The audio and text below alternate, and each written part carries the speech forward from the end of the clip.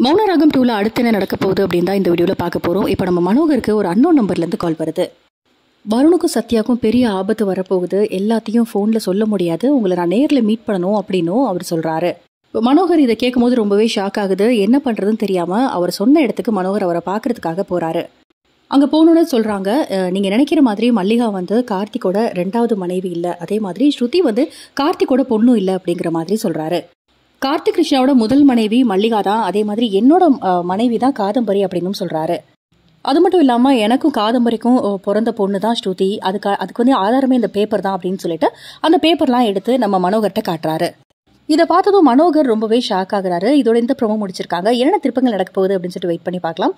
இந்த வீடியோ பிடிச்சிருந்தா லைக் பண்ணுங்க ஷேர் பண்ணுங்க. மறக்காம நம்ம சேனலையும் சப்ஸ்கிரைப் பண்ணுங்க. தேங்க்ஸ் ஃபார் வாட்சிங்